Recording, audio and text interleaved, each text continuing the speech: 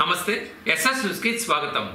కేంద్ర రాష్ట్ర ప్రభుత్వాలు కరోనా వైరస్ కట్టడి విషయంలో విఫలమయ్యారని అలాగే దేశంలోని నిరుపేదలను ఆదుకునే విషయంలోనూ కరోనా బారిన పడిన వారికి వైద్యం అందించే విషయంలోనూ అదేవిధంగా డాక్టర్లకు సరిపడా కరోనా కిట్లు అందించే విషయంలో విఫలమయ్యారని దీనిని నిరసిస్తూ దేశవ్యాప్తంగా సిపిఎం పార్టీ వారు ఆయా ప్రాంతాలలో పలు రకాల నిరసనలు తెలియజేశారు. అందులో భాగంగానే సూలూరుపేట సిపిఎం పార్టీ వారి ఆధ్వర్యంలో స్థానిక ఎంఆర్ఓ కార్యాలయం వద్ద కేంద్ర రాష్ట్ర ప్రభుత్వాలకు వ్యతిరేకంగా నిరసనలు తెలియజేశారు. ఈ కార్యక్రమంలో సిపిఎం నాయకులు సుధాకర్ పద్మనాభయ్య అల్లయ్య తదితరులు పాల్గొన్నారు.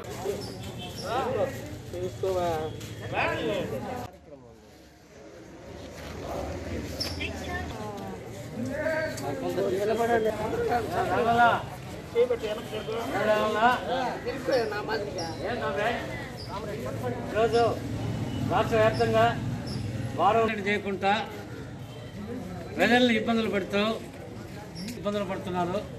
వాళ్ళకి ఆదుకోకుండా ఇక్కడ ఉంది. మొదటగా మనం కొంతసేపు స్లోగన్స్ ఇచ్చి తర్వాత అర్జీ ఇచ్చే కార్యక్రమాన్ని ప్రారంభిద్దాం కాబట్టి ఇవ్వాలి.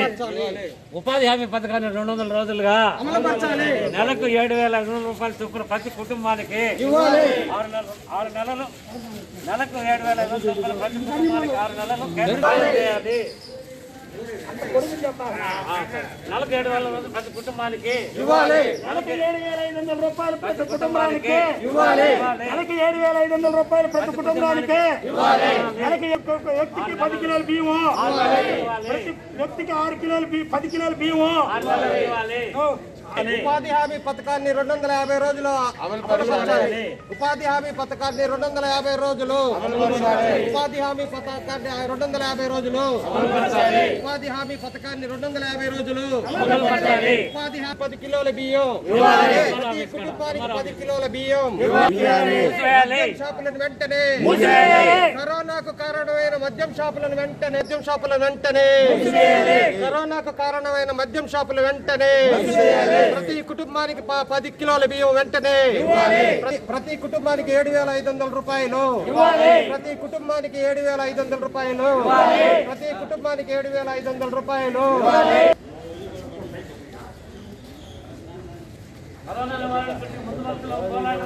రక్షణ పరికరాలు బీమా సౌకర్యం పది కేజీల బియ్యం ప్రతి మనిషికి పది కేజీల బియ్యం ప్రతి మనిషికి కేజీల బియ్యం ప్రతి మనిషికి.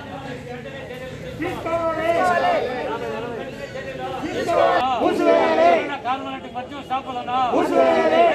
కుటుంబానికి ఏడు వేల ఐదు రూపాయలు ఈరోజు దేశవ్యాప్తంగా చూసినట్లయితే కరోనా విజృంభించి మధ్య పేద తరగతి అన్ని తరగతుల్లో గు- పట్టిపీడుస్తూ ఉంది.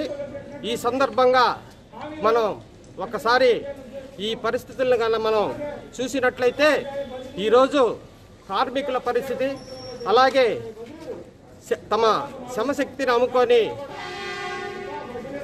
పనిచేసే పేద బీద వర్గాల పరిస్థితి చాలా దమనీయంగా ఉంది. అందుకే మేము సిపిఎం పార్టీగా కార్మికులందరికీ కూడా పనికి ఉపాధి పథకం మనకుంది. దాన్ని రెండు వందల యాభై రోజులు అమలు చేయాలని ప్రతి కుటుంబానికి ప్రతి కుటుంబానికి ఏడు వేల ఐదు వందల రూపాయలు ఈ కరోనా కాలంలో వాళ్ళకి గుర్తిగా ఇవ్వాలని అలాగే ప్రతి మనిషికి పది కిలోల బియ్యం ఇవ్వాలని మేము డిమాండ్ చేస్తున్నాం. అలాగే ఈ కరోనాకి కారణమైనటువంటి ఈ మద్యం దుకాణాలని మూసివేయాలని మేము మా పార్టీగా డిమాండ్ చేస్తున్నాం. కరోనా పైన పోరాటం చేస్తున్నటువంటి ఫ్రంట్లో ఉన్నటువంటి వారియర్స్ అందరికి కూడా బీమా పథకాన్ని అమలు చేసి వాళ్ళకి ఏదైనా ఇబ్బందులు జరిగినప్పుడు యాభై లక్షల రూపాయలు నష్టపరిహారం చెల్లించాలని అలాగే కరోనా రక్షణ పరికరాలను ఇవ్వాలని మేము డిమాండ్ చేస్తున్నాం.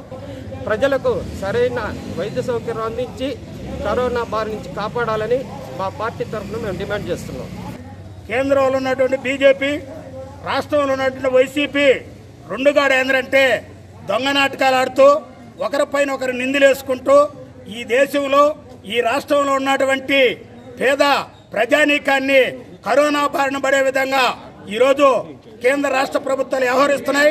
ఇదే అత్యంత దారుణం అమానుషం అన్యాయం అని చెప్పని సిపిఎం పార్టీ గొంతెత్తి నినందిస్తుంది ఎందుకంటే ఈ యొక్క కరోనా బారిన పడి జనం సరిపోతుంటే కేంద్ర ప్రభుత్వం మద్యన మద్యాన్ని అమ్ముకునేదానికి ఆదేశాలు ఇచ్చి ఈ రోజు ఏంటంటే మద్యం విచ్చలవిడిగా అమ్ముకుంటూ సూలూరుపేట నగరంలో ఉన్నటువంటి షాపులన్నీ కూడా లాక్డౌన్ ప్రకటిస్తే మద్యం షాపులు మాత్రం రేత్రి తొమ్మిది గంటల దాకా అమ్మటం ఈ మద్యం ద్వారా వచ్చేటువంటి డబ్బుల్ని ఈ యొక్క రాష్ట్ర కేంద్ర ప్రభుత్వాలు ఆ వాళ్ళ యొక్క పబ్బాలు గడుపుకునే దానికి ఈ శవాల మీద కాసులేరుకునే విధంగా వ్యవహరిస్తున్నాయి. ఇది అంతంత దుర్మార్గమైన చర్యగా సిపిఎం పార్టీ దీన్ని ఖండిస్తుంది. ఈరోజు కరోనా బారిన పడి చనిపోయిన శవాల శవాలని అనాథల శవాలుగా ఇసిరిపారేస్తుంటే సిపిఎం పార్టీ ఒక టీమును తయారు చేసి ఈ జిల్లాలో కరోనా వచ్చి చనిపోయినటువంటి వ్యక్తుల్ని సంస్కృ వాళ్ళ యొక్క పూడ్చే విధానానికి వాళ్ళు స్వచ్ఛ చెప్తూ వాళ్ళు ముందుకు వచ్చారు దీనికి సిపిఎం పార్టీ గర్వంగా చెప్పదలుచుకున్నాం. అందుకని చెప్పని ఉపాధి హామీ పథకాన్ని ఈ కరోనా టైంలో పట్టణ ప్రాంతాల్లో రెండు వందల యాభై రోజులకి కల్పించాలని అదేవిధంగా గ్రామాల్లో కూడా రెండు వందల యాభై రూపాయల రోజులకి పెంచాలని ఖచ్చితంగా ఈ కరోనా బాధతో ఇబ్బంది పడుతున్నటువంటి వ్యవసాయ కార్మికుల్ని చేతి వృత్తి కార్మికుల్ని ఉపాధి హామీ పథకంలో వాళ్ళ ఇమిడ్చి వాళ్ళ యొక్క ఆకలి బాధలు తీర్చాలని చెప్పని ప్రతి కుటుంబానికి ఏడు వేల ఐదు వందల రూపాయలు ఇవ్వాలని చెప్పని సిపిఎం పార్టీ డిమాండ్ చేస్తుంది. ప్రతి వ్యక్తికి పది కిలోల బియ్యం ఆరు నెలల పాటు ఇవ్వాలని కూడా సిపిఎం పార్టీ పట్టణ కమిటీ డిమాండ్ చేస్తుంది. నెల్లూరు జిల్లా జాయింట్ కలెక్టర్ ప్రభాకర్ రెడ్డి నాయుడుపేటలో పర్యటించి రైతులు పండించిన పంటకు సంబంధించిన కొనుగోలు కేంద్రాలను వ్యవసాయ శాఖ అధికారుల ఆధ్వర్యంలో ప్రారంభించడం జరిగింది.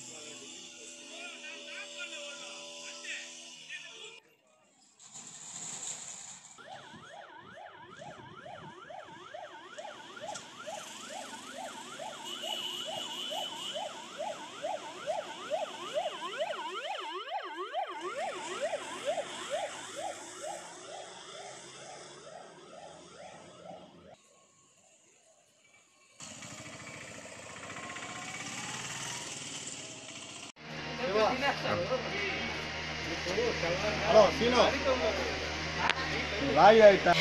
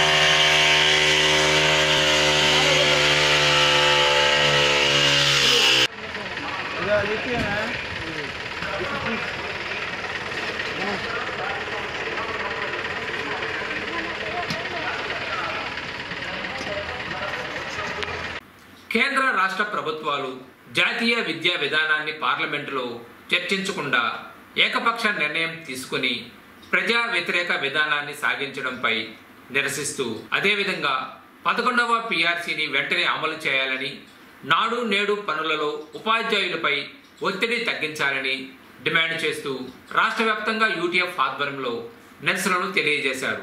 అందులో భాగంగానే సూలూరుపేటలో కూడా యూటీఎఫ్ టీచర్స్ ఆధ్వర్యంలో ఎంఆర్ఓ కార్యాలయం వద్ద కేంద్ర రాష్ట్ర ప్రభుత్వాల ప్రజా వ్యతిరేక విధానాలకు వ్యతిరేకంగా నిరసనలు తెలియజేశారు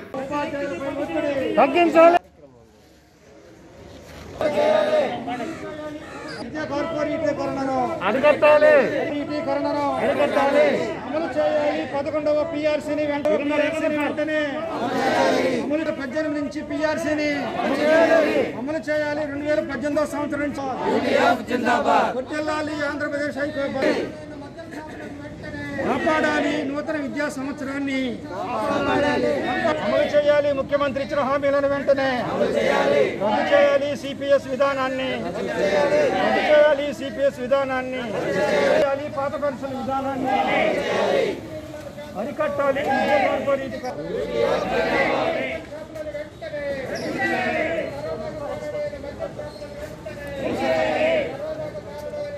విద్యా కార్పొరేట్ వర్దిల్లాలి ఆంధ్రప్రదేశ్ ఐక్యోపాధ్యాయ ఫెడరేషన్ వర్దిల్లాలి ఉద్యోగ కార్మికుల ఐక్యత. ఫెడరేషన్ జిందాబాద్ జిందాబాద్. జిందాబాద్ జిందాబాద్. నూతన జాతీయ విధా- విద్యా విధానంపై పార్లమెంటులో వెంటనే. నూతన జాతీయ విద్యా- విద్యా విధానంపై పార్లమెంటులో వెంటనే.